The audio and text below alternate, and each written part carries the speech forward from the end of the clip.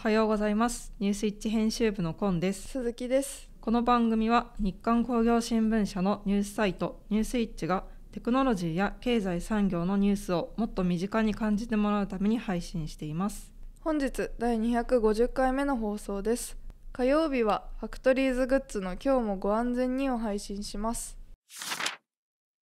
ニュースイッチラジオはオレンジヒートで加熱工程の電化と脱炭素社会に貢献するメトロ電気工業の提供でお送りします。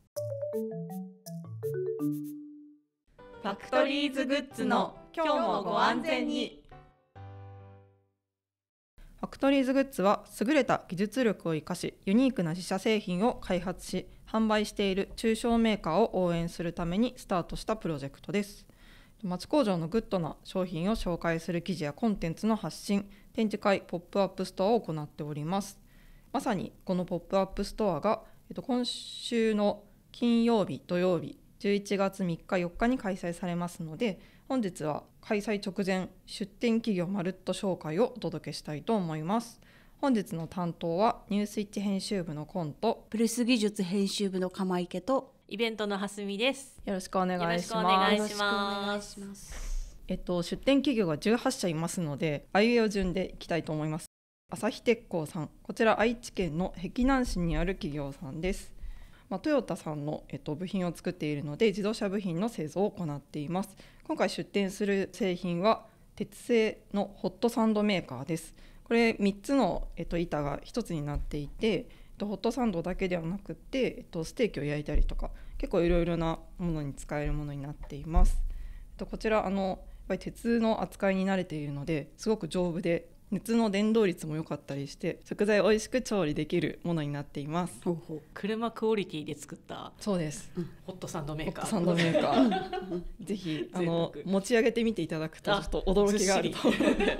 技術の重はい、みが。そちらも楽しみにしてください。はい。はい、では次、えー、と兵庫県神戸市にある伊福精密さんの、えー、と製品じゃあご紹介するんですけれどもこちらはですね精密部品加工金型の部品加工で、まあ、切削加工ですね。それと一緒にですね金属 3D プリンターというナウな、えー、と加工技術を確立されているメーカーさんです。出展製品はですねその先ほど申し上げましたナウな金属 3D プリンターを使った、えー、と自社ブランドの1個手記という、えー、とこちらもあのお酒を飲むの手記なんですけれどもその金属 3D プリンターっていうのはやっぱ繊細なこう柄をですね金属の粉をこうレーザーで焼き固めながらなかなか普通には作れないような立体形状を作っていく技術なんですね。そちらを生かした金属を編み上げたようなこう見た目のちょっと不思議なお酒の入れ物。私これ持ってる。お酒好き執権。ちょっと、あの実は、まあ、これ会場で見てほしいんですけどちょっとしたですねこうお酒をまろやかにするギミックがあったりとちょっと面白い製品です。でもう一つはですねお香立てでリラコーという名前でしてこちらもですね金属なのに表面にまるで着物の柄が浮かび上がったようなすごく繊細なお香立てが出ています。手の上にちょこんと乗るような大きさなんですけれども1個置くだけですごい和の空間が作り上げられるようなかなり存在感のある一品なのでぜひ指で触ってですねその繊細さ味わっていただけたらなと思っております。続きまして東京都八王子市の、えー、と小沢製作所さん。こちらはですね板金加工メーカーさんで、まあ、板金というとそのまま金属の板をですねこう切ったり曲げたりつなげたりしていろんな形を作る加工技術です。でこちらが今回出すのがですねクラフトシェードという名前のキャンプといえばやっぱ夜じゃないですか、LED ランタンっていうものすごくこうあの光の強いランタンを置くんですよね。でそれをただ置くだけじゃやっぱつまらないのでそれにこうシェードっていうカバーをかけるのが夜の。素敵なキャンプサイトを演出するアイテムとして欠かせなくてで今回のその小沢製作所さんあのもともとキャンプのいろんな今自社製品お作りなんですけれども、まあ、その新しいえーラインナップの一つとしてこの LED ランタン用のシェードっていうのを作られました。でこれの面白いところはこうあの最初の形が、まあ、ランタンなんでパコッとこうかぶせる形なんですけど最初は板なんですよ。でそれをグッと曲げることによって自分で形を作ってはかぶせるっていうそうちょっとなんていうんですかね使う前のひと手間みたいなのを楽しむっていうのが、まあ、一番こう魅力の製品です。レーザーがで適当に開けたようなんだけど実はちゃんと幾何学的な模様になっていてそこからこう溢れる光がですねとても幻想的オーダーしたりとかですねそういった相談も承ることができるっていうことなのでちょっと自由なね柄をやりたいとかいうような方はもしかしたら相談ができるかもしれないそんな自由度がある商品です。えっと、次はですねえっと極東窒化研究所さんというこちら神奈川県秦野市にある企業さんなんですけれどまあ普段は工業製品のあの表面の処理をしている企業さんになっています。と窒化処理といいましてアンモニアガスを充填させた電気の圧力釜みたいなのがあるんですけどそこにあの金属を入れて高温で熱することで表面を硬くする。そして壊れにくくするという技術になっています、えっと、そちらの技術を使って今回魔法の窒化フライパンというものを、えっと、初出展します。あの金属の表面処理は今お話しした通り極東窒化さんが行っていて、まあ、それ以外の加工は主に近隣のメーカーさん5社で作り上げた製品になっています。あの表面処理の特徴として食材が焦げ付きにくくなっているのでお手入れもすごく簡単な鉄製のフライパンとなってます。実際あの極東窒化の武田社長はキャンプで使ってなんかえ目玉焼き焼いたりとか、ー。なんか試作していてインスタにその様子上げていてめちゃくちゃ美味しそうでしたのでこれサイズもいくつかあるんだよね。そうですね。22センチと26センチ。ちょっと小型のものと、まあ、26センチ。一般的なフライパンのサイズ2種類あるのでちょっと楽しみにしています。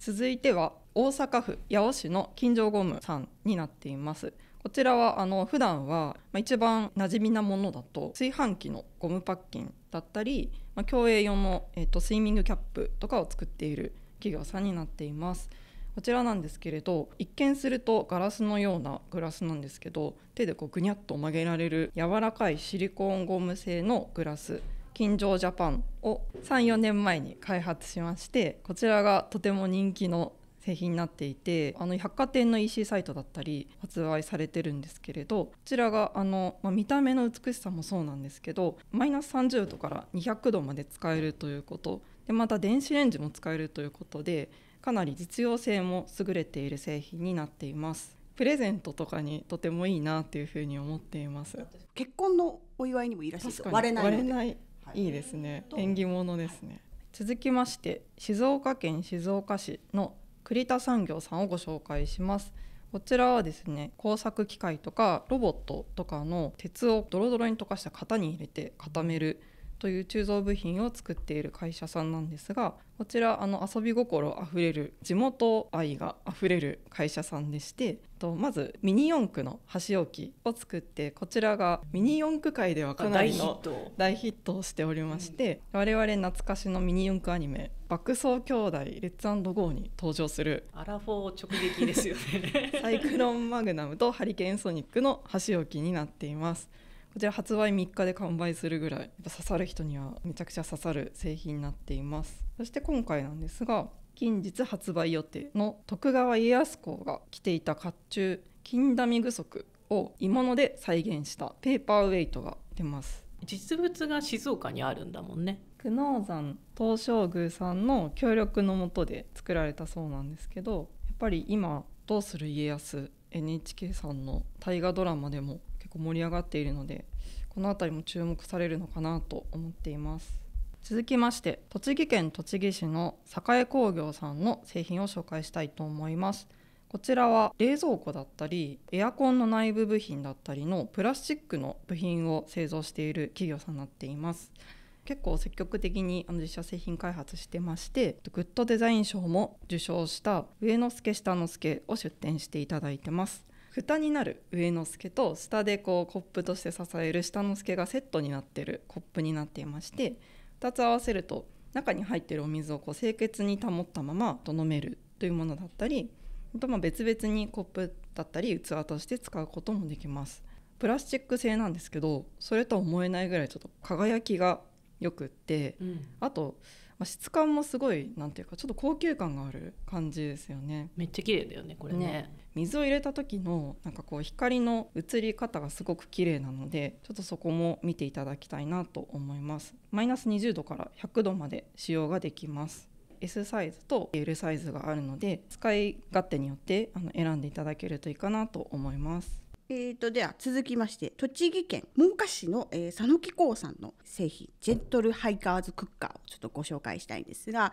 この製品はですねその先ほども言いました真岡市に拠点を置くそのヌルクという、えー、とアウトドア関係のあのギアですね。のブランドさんとの共同開発の製品になるんですけどクッカーって言われてもなかなか 何にするんだって感じなんですけど、まあ、あのアウトドア用の、まあ、調理器具です。お鍋ちょっとしたお鍋に使ったり、まあ、お湯を沸かしたりですね。そういったことができるものになっておりましてこちらのですね一番特徴はやっぱ純銅製っていうことでこの佐野機構さんがですね、まあ、あのプレス加工メーカーさんで、まあ、いろんな自動車関連もですけれども建築関係ですね金物いろんなものをプレスで作ってらっしゃって銅の加工がとてもお上手です。で銅の加工といいますと銅ってすごくこうあの触るとすぐシミになったりですとか柔らかいのにすぐ傷になったりですとか加工が難しいんですねあのすごく気を使う素材なんですけれどもこのジェントルハイカーズクッカーでもその佐野機構さんのその、まあ、技術を使ってで銅で作られています。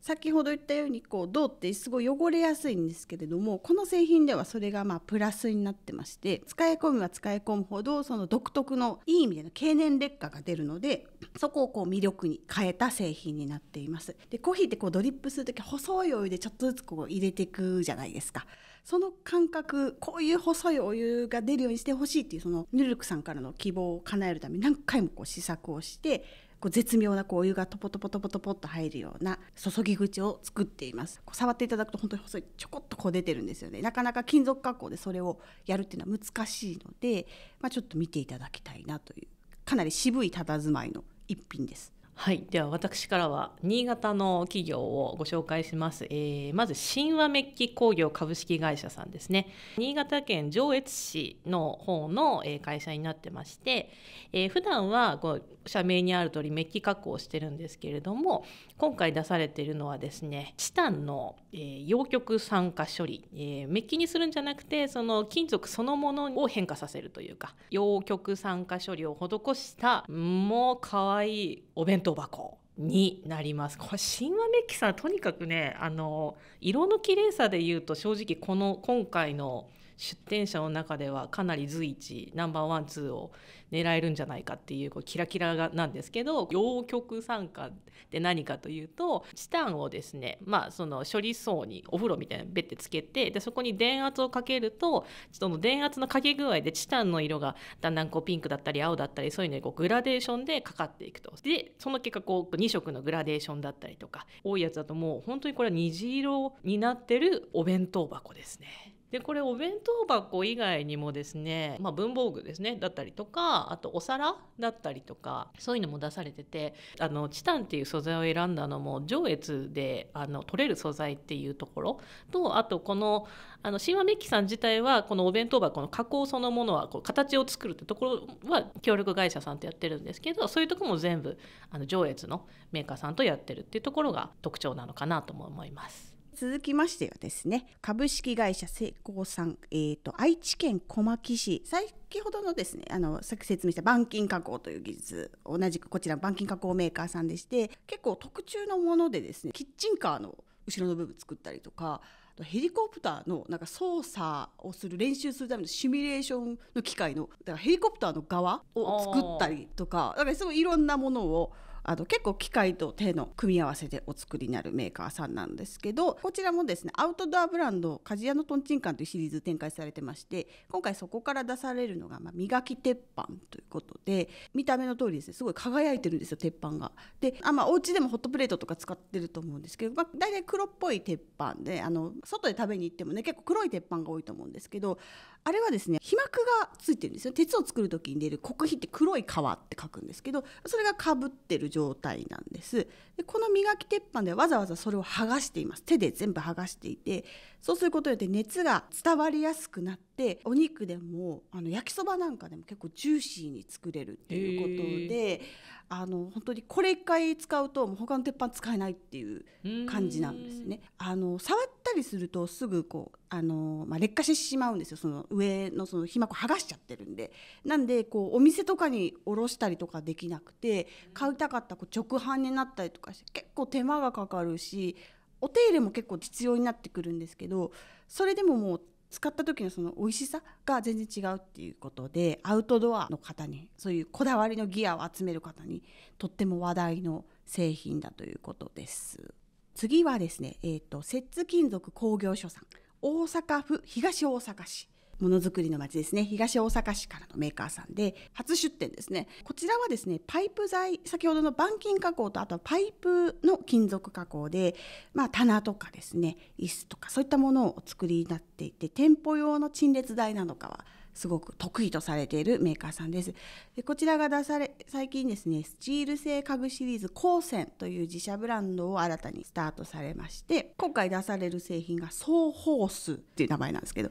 これテーブルの足です。で細いですね楕円のパイプをですねこう三角形くらいこう合わせて、まあ、ちょっと足みたいに作ってるんですけどそれをこうまあ2つ並べて上に何でもこう板を置くだけでこうテーブルになるっていう製品なんですね。でこのソーホースって摂津金属工業所さんが考案されたものっていうよりは製造業の人にすっごく馴染みの深い製品であの製造業ってよく作業台が必要になるじゃないですか。そういう時にこういうソーホースっていうこう足をですね置いて板を置いて作業台にするっていうのが結構あるんです。それを自社が得意とするパイプで特にしかも細パイプを使ってこれ難しいんですよね溶接とかが。こうスタイリッシュにこう再構築したっていう製品ですね。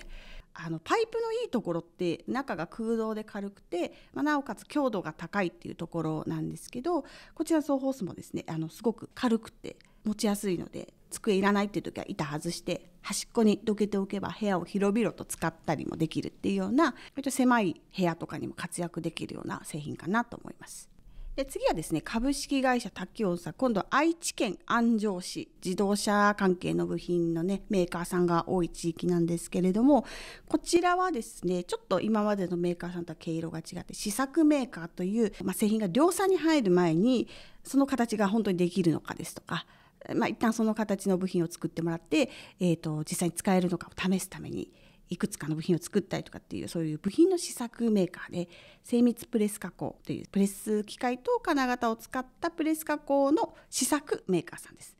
でこちらが、えー、の自社製品が、えっと、燻製機のスモークポットというものでして、まあ、燻製をお家で気軽に楽しめるっていう製品ですね。これはおうち燻製機って名前を最初につけてるくらいであの自宅用です。もちろん外でも使えるんですけど一般家庭用のコンロで中がですねに網がこう入ってあるんでお鍋のような形なので下に燻製チップ引いて網を置いて燻製したいものですね。置いて蓋を閉めて。10分20分くらいで簡単に燻製ができますじゃあ次株式会社田代さん神奈川県平塚市ですね田代さんも板金加工メーカーさんでしてあの浮き橋の1個部品を作ったりとか本当指先に乗るような機械部品を作ったりとかかなり幅広いサイズのいろんなものをお作りになるメーカーさんであの短い納期で製品を作るっていうのが、まあ、自慢のメーカーさんです。またアウトドアの話になるんですけどあの今回この田代さんはですね作ったのがですね盆石という変わったコンセプトなんですよ。見て楽しむ蚊取り線香ホルダーということでアートな感じにちょっと美術館に置いてそうなあの形の蚊取り線香ホルダーでまあ見た感じはですねちょっとこう、まあ、アルファベットの A がちょっとこうぐにゅっとこう上からこうされたような形になるんですけどそこに蚊取り線香をこう引っ掛けるこうちっちゃなフックがあってそこに引っ掛けるだけ。縦に引っ掛けるっていうのは珍しいですね。確かに横に置くのが多いですよね。あのペタンと置いちゃうのが多いと思うんですけど。であの蚊取り線香も結構あの強度っていうか 強さによっていろんな色が青とか赤とかがあるのでちょっとそれにも合うようにその盆石自体の色もグレーだったとか黒がモダンな色がありますアートに寄りすぎないっていうのもすごくコンセプトにされていて凝りすぎた商品はそれだけ工数がかかって製品としてやっぱりお金がかかるだけそうではなくてこう加工の工程を適切にして適切な価格で見て楽しめるものを作りたいっていうこう製造業的な視線とアートの視線をこう取り混ぜて作った製品ですね。次株式会社塚田さん。こちらは岐阜県関市。関市といえば刃物の町として有名です。刃物のハサミだとか包丁とかなんですけどこちらはプレス機械と金型を使って金属を加工するプレス加工メーカーさんで包丁やハサミの最初の形を金属から抜く加工をたくさんやっていらっしゃいます。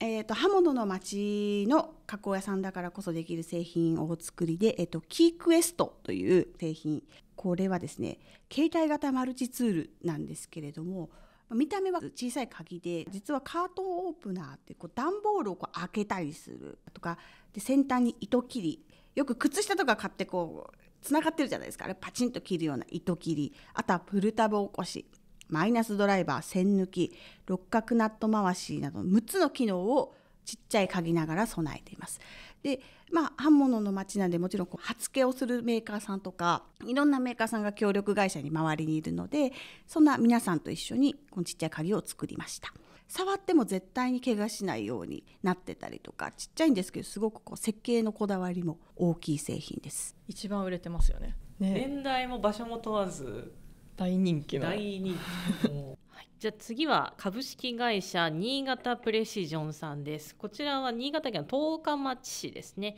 から、えー来ていただいた、えーメーカーさんになるんですけれども、えー普段はですね精密金属加工っていうことで普段ミクロン単位で金属を削るっていうあのそういう仕事をされてる方なんですけれどもそこがお作りになった精密日本刀シリーズ戦国武将刀身シリーズから、えー何本か刀がやってまいりますと、まあ、さっきあの大河ドラマの話にありましたけれどもいろいろ歴史に残る名刀だったりとかあの信長が持ってましたとか秀吉が持ってましたとかそういう名刀っていろいろあると思うんですけれどもそれをですねこの柄の部分からこの刃文ですねそういうところのデータを全部詰め込んで鉄の塊からですねそのミクロン単位でこう削り出して6分の1スケールで作ったというのが、えーこの戦国武将刀身シリーズになります。これの他にもですね、えー金属の板を削ってできた葛飾北斎の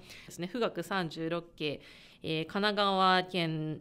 沖波浦って読むのかな？のあの絵を金属の板でこう切削をしてでそれを表面処理をしてきれいに色をつけたメタルアートワークと。いう絵もですねあの銀座に持ってきてくださるということになっております。刀剣女子とかあの日本刀お好きな、ね、方って結構たくさんいらっしゃいますけどこれ6分の1スケールですか？だから15センチぐらいあの、まあ、よく懐刀ってま言いますけどこの推しのねミニサイズを、まあ、本当に懐に入れて持って帰れるということで、まあ、まあまあお値段はしますけどあの本物ね2億とかしますからあの だいぶお手軽だいぶお手軽に13万ぐらいからスタートになりできますのでぜひあのこの機会にななかなかあの実物を見れる機会はないのでね。ね。はい、ぜひ見に来ていただきたいと思います。では次有限会社早野健康さん。こちらも岐阜県先ほど塚田さんちょっと近所かな大垣市にあります、えー、とこちらは精密板金と一部プレス加工もやってらっしゃるんですが自動車関連の部品の中心に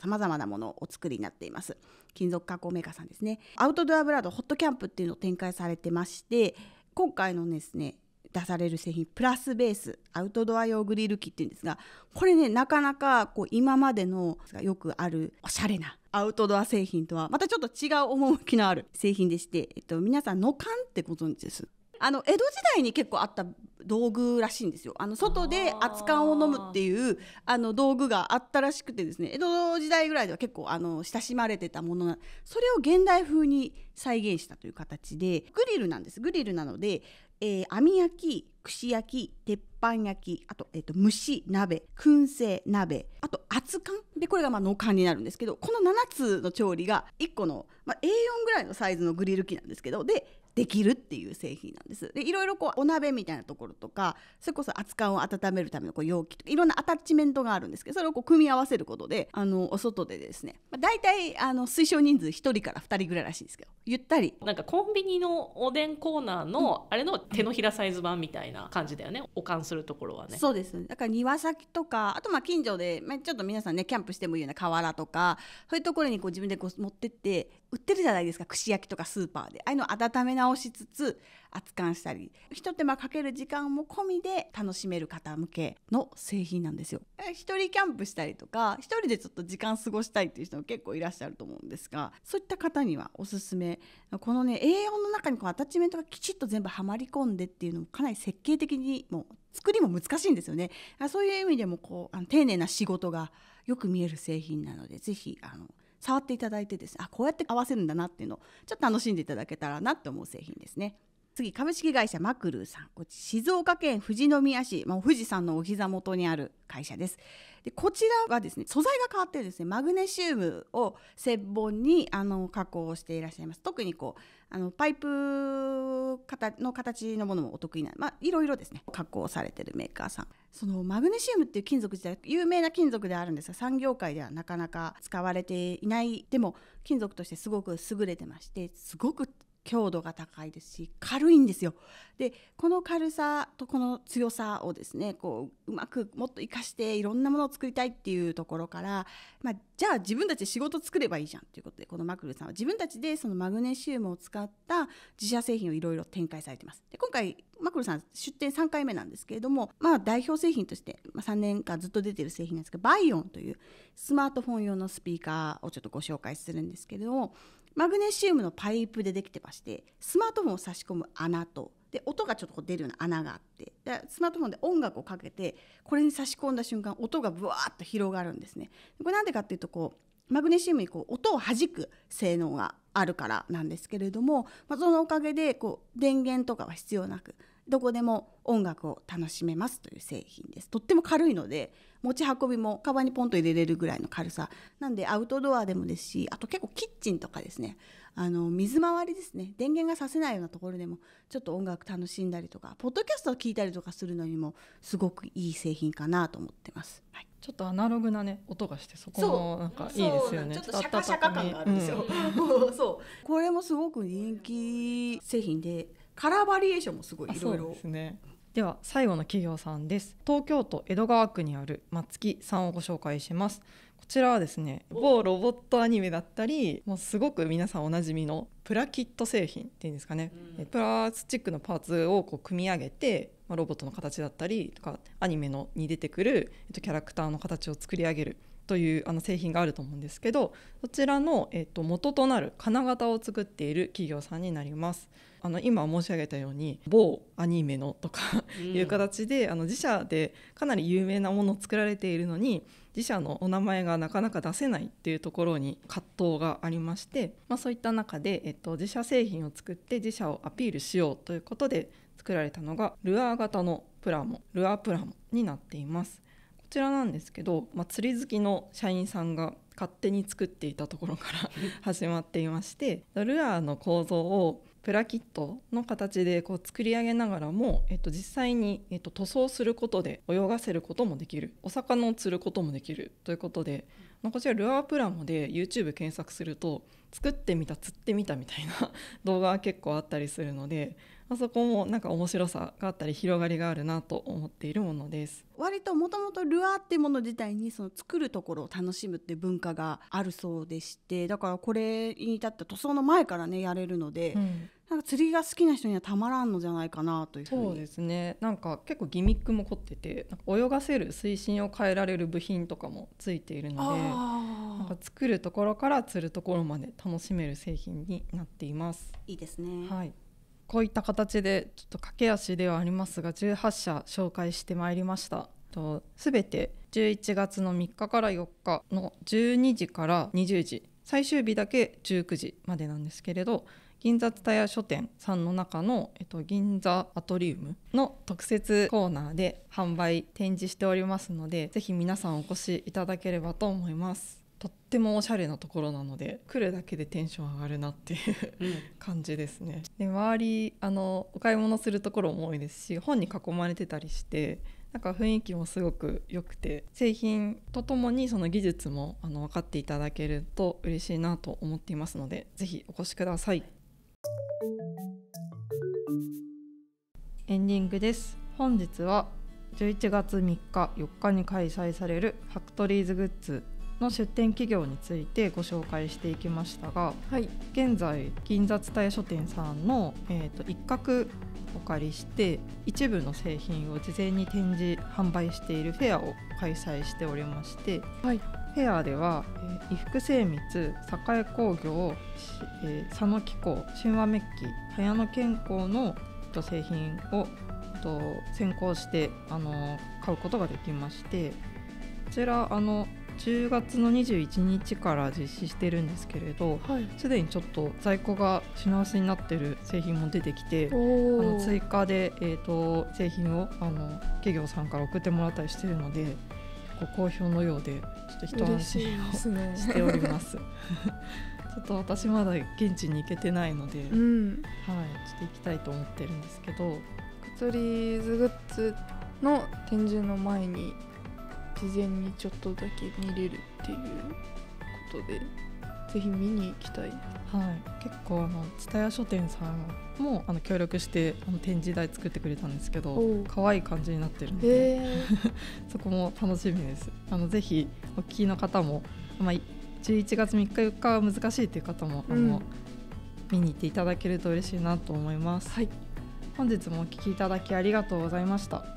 次回は11月2日木曜日の朝7時から今週話題になった記事トップ3のコーナーとランキング外だけど気になる記事を配信します。ニュースイッチラジオはボイシー、YouTube、Spotify 各種ポッドキャストにて配信しております。チャンネル登録やフォローをお願いします。またニュースイッチの Twitter もあるのでチェックしてみてください。感想や聞いてみたい内容があればニュースイッチアットマーク日刊ドットテック宛て懸命にニュースイッチラジオと記載の上お送りください。皆様からのメールをお待ちしております。ニュースイッチラジオはオレンジヒートで加熱工程の電化と脱炭素社会に貢献するメトロ電気工業の提供でお送りしました。それでは次回もお楽しみに。